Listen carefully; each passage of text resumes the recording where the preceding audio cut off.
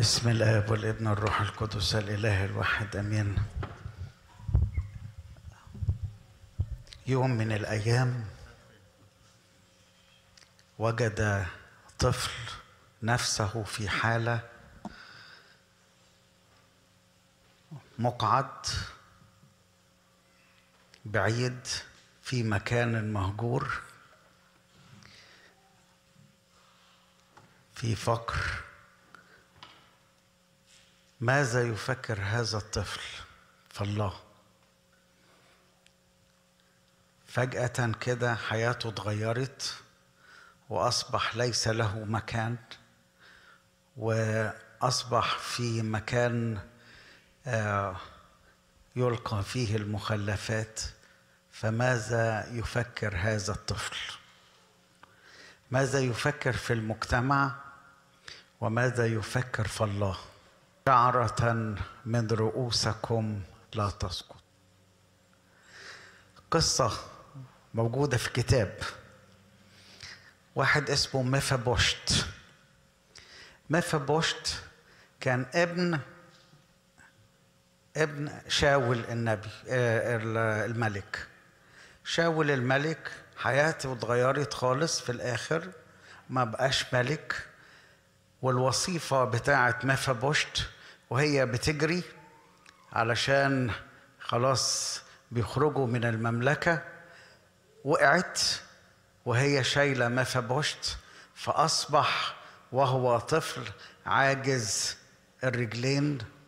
وراحوا سكنوا في منطقة اسمها لوديبار منطقة بعيدة كلها للمخلفات. وعاش مفبوشت مقعد يحمل لأنه لا يستطيع أن يمشي أبدا بكلتا قدميه. وهنا هل يتركه الله؟ شعرة من رؤوسكم لا تسقط. داود النبي بعد ما ملك واستقرت مملكته ابتدى يفكر. وشوفوا تفكير رجال الله. هل هناك يسأل الناس هل هناك بقي أحد من بيت شاول لكي أصنع معه إحسانا من أجل الله؟ هو في حد لسه باقي من شا من بيت شاول عشان أعمل معاه خير؟ هو اللي بيدور هو اللي بيدور على الناس دول. فقالوا له في واحد بس اسمه ميفابوشت وساكن في لويدبار فقالوا لهم هاتوه. فجابوه وجاب معاه حد علشان بيحملوه شايلينه. فيقوم داود يعمل إيه؟ يقول له كل أملاك أبوك أرجعها لك كلها. بس لو رجع له كل الأملاك بس هيحصل إيه؟ مش هيعرف يديرها لأنه مقعد. فقال له وعين لك كمان ناس علشان يديروا لك هذه الأملاك ويجيبوا لك دايما أكل لغاية عندك.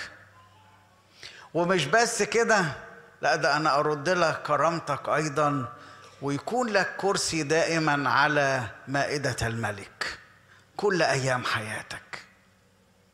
شوفوا رجال الله لما يفكروا يحلوا المشكلة بيحلوها إزاي؟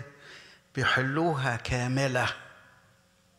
فإذا كان رجال الله البشر يعرفوا يحلوا مشاكل بهذه الصورة ويدوروا من قلبهم على إنسان يمكن ما شافوهوش ابدا. كم وكم الله محب البشر شعر من رؤوسكم لا تسقط ابدا. هو يهتم بك هو يراك هو يراك في ضيقتك فيحملك على منكبيه. هو يراك هو يراك في عوزك فيشبعك من خيرات لأنه هو خبز الحياة. هو يراك هو يراك في حيرتك فينير لك الطريق لأنه هو نور العالم. هو يراك في ضعفك فيقويك لأنه هو مصدر كل القوة. يريد أن يؤيدك بالقوة في إنسانك الباطن. بس إمتى؟ لما أنت تحول عينيك وتنظر له هو. ناظرين إلى رئيس الإيمان ومكمله يسوع الذي من أجل السرور الموضوع أمامه احتمل الصليب مستهينا بالخزي. أنت سرورك فين؟ فرحتك فين؟ لو فرحتك في المسيح هتكون فهمت الحياة. لو فرحتك في العالم فرحتك تظل في العالم وفرحتك تهلك دائما لأنها تصطدم بالعالم. والعالم فيه إيه؟ محبة العالم فيها إيه كلها؟ العالم عبارة عن إيه؟ شهوة الجسد شهوة العيون وتعظم المعيشة. وهذه كلها تزول. عشان كده الكتاب دايما يفكرنا في كل قداس لا تحب العالم ولا الأشياء التي في العالم لأن العالم يمضي وشهوته معه. عشان كده الكتاب بيقول لنا بس بقى لأنك أنت في عينين ربنا هو يراك ويهتم بيك هو يرى مفبشت وهو بعيد في لوديبار ويراك أنت أيضا حتى ولو كنت في عمق المشكلة.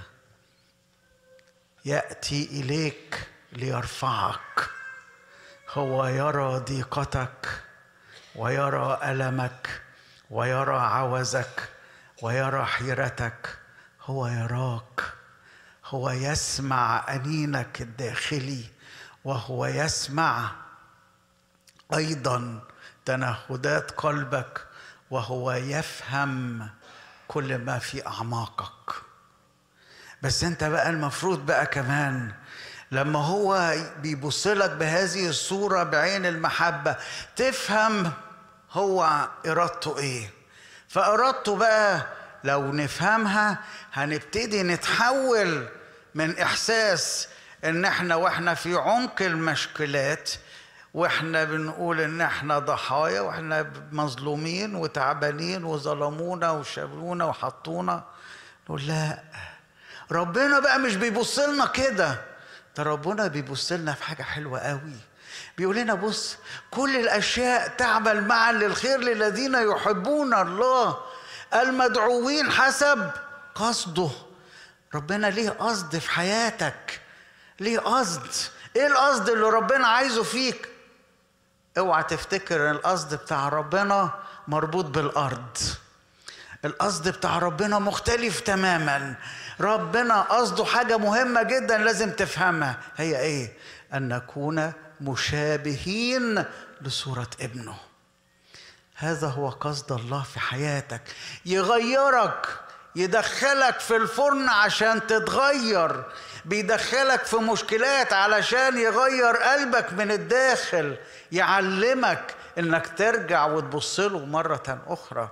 ليه؟ علشان أنت مختار. اختارك قبل تأسيس العالم.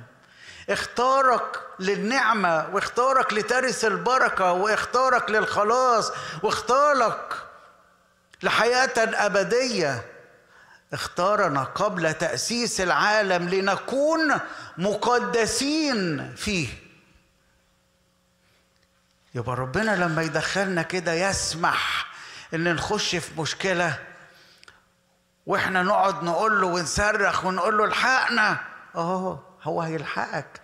بس عايزك تدور الأول إيه السبب اللي أنت دخلت فيه في ده. يمكن ربنا عايزك تبص له مرة تانية. ارجع وبص له. ولما تبص له هتفهم. هتفهم إنه عمل كده علشان خاطرك أنت. يسيب يوسف شوية في جب وإخواته حواليه فوق. وعمالين كل واحد منهم يتناقشوا. نموته لا نبيعه لا ما نموتوش ويختلفوا. وهو تحت في الجب. يمكن يوسف ساعتها كان بيصلي ويقول لربنا إيه؟ الحقني الحقني ده أنا ابنك. وربنا يقول له استنى شوية استنى شوية استنى شوية دي ليه؟ عشان هو عايز يعلمه. له خطة في حياته. ويروح على بيت فوتيفار في مصر ويدخل السجن وهو مظلوم. بس ربنا له خطة. عشان كده إحنا محتاجين وإحنا في عمق المشكلة افهم انه في هدف لهذه المشكلة في هدف لهذه التجربة في ان شعر من رؤوسكم لا تسقط لأنه ربنا هو اللي بيحفظك. بس افهم بقى ان ده علشان اتغير. علشان عندي حاجة مهمة لازم أفهمها إني أكون مشابها لصورة ابنه لأن عندي ملكوت مفروض إن أنا أهتم بيه في ورثة ضخمة ميراث أبدي لا يضمحل ولا يفسد ميراث أبدي. إحنا ناسيينه وبنفكر في إيه؟ في مشكلاتنا الأرضية. هيحل لك مشكلتك الأرضية. هيدي لك كل احتياجاتك. بس انت إيه مش واخد بالك ان هدفه مش الأرض هو هدفه الأبدية. عشان كده يكمل بولس الرسول معانا ويقول لنا بصوا خلي بالكم أنتم مختارين اختارك قبل تأسيس العالم ومش بس اختارك قبل تأسيس العالم ده كل الأشياء تعمل معا للخير للذين يحبون الرب علشان يتغيروا. يفهموا يفهموا الهدف بتاع ربنا مختارك لبربس معين. وبعدين تفهم بقى كده إن ده ربنا بقى بيحبنا جدا جدا جدا لدرجة بقى أبعد من كده. وهو بيقول لنا كده إيه؟ الذي لم يشفق على ابنه بل بذله من أجلنا. كيف لا يهبنا معه كل شيء. هيهبنا معه كل شيء يعني إيه؟ عشان أنت لو في المسيح انت في المسيح. وفي المسيح انت متغطي بالمسيح. في المسيح حياتك مستترة فيه. في المسيح تقف أمام الديان العادل. تنال نعمة لأن من الذي يدين هو المسيح نفسه.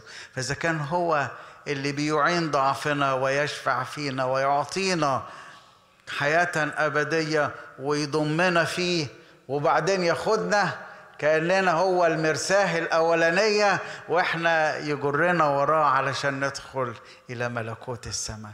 فعلشان كده كل مرة تتألم فيها افتكر إن هذا الألم له هدف. والهدف إيه؟ واضح. اوعى تقعد تدور على اهداف بعيدة. هدف واضح جدا. اتغير عشان تبقى صورة الله. اتغير عشان تبص لربنا. غير نفسك كده وبص للمسيح نفسه. عشان هو ده الهدف الحقيقي. اوعى تفتكر ان هناك اهداف أخرى. أهدافنا الحقيقية هي المسيح. وإذا المسيح هو اللي مالي حياتك هتبص تلاقي حياتك كلها هي مصونة. مربوطة في المسيح. علشان كده في كل مرة تتألم قول له إيه؟ أنت شايف إن في عوجاج أه. طب صلحه. شوفوا داود النبي لما يقول له كده يا رب أيوة أنت فحصتني. شايف قلبي من جوه وعارف كل أفكاري. وبعدين يجي في آخر المزمور 139 يقول له إيه؟ إن كان فيا ميل اعوجاج. انت اهدني إلى حياة أبدية. لو كان فيا اعوجاج كده ولا حاجة مايلة يمين ولا شمال انت صلحني عشان في الآخر أكون صورتك انت. فبيدخلنا في بعض الأوقات يسمح لنا إنه نتألم علشان الألم ده كمان علامة إنك لسه حي. يعني لو واحد مش مش حي هيتألم. انت لسه حي عشان كده بتتألم. وفي نفس الوقت ربنا بيروح رافعك ومديك حاجة مهمة جدا. الألم له عمل. العمل ده هو إيه؟ إنك تتكمل. يكملك. يكملك يعني إيه؟ يقعد يصلحك وينظفك من جوه علشان في النهاية تصل لإيه؟ إنك أنت تكون انسانا كاملا.